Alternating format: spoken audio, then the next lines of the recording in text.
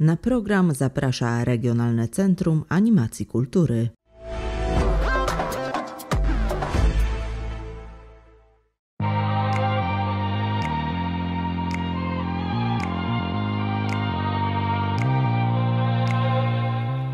Pani Barbara Moros do Świdnicy przyjechała z Kielecczyzny i właśnie tu przeniosła tradycje, które pamięta jeszcze z dzieciństwa. Mamy taką grupę seniorów, którzy e, zachęcają nas, tych młodych właśnie, e, to, to młode pokolenie do tego, aby pielęgnować tą tradycję.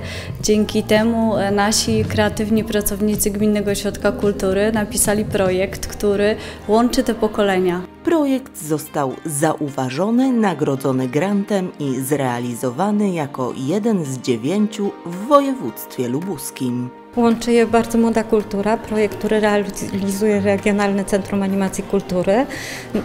Przyznaliśmy dziewięć grantów i właśnie dzisiaj jesteśmy u Pierzaków. Niegdyś Pierzak był wydarzeniem popularnym i powszechnie znanym. Dziś pytamy, co to takiego. Oczywiście obytych z tematem mieszkańców Świdnicy. Świdnickie pierzaki to nic innego jak darcie pierza. Kiedyś panie w gospodyni spotykały się u swoich sąsiadek, wspólnie darły pierze na pierzyny, e, poduchy, jaśki e, i my właśnie w Goku darliśmy to pierze. Pierzaki to dawna tradycja celebrowana głównie na polskich wsiach. Tak jak w Świdnicy miała charakter nie tylko praktyczny, ale i integracyjny.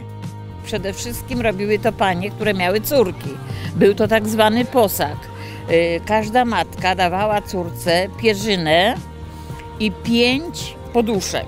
Ideą projektu było zapoznanie młodych ludzi z tradycjami ludowymi, które, jak gęsie pierze, są ulotne. Poznałem pewne szczegóły historii, jak to kiedyś było i doświadczenie jednak tego, jak to się robiło. W ramach świdnickiego projektu odbyły się warsztaty folkowe i inscenizacja uwieczniona w filmie. Taka pamiątka zostanie z uczestnikami na lata.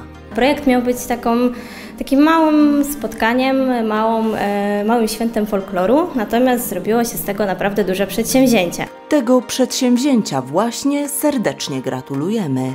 Celebrować sukces można już nie w wiejskim stylu, a na czerwonym dywanie.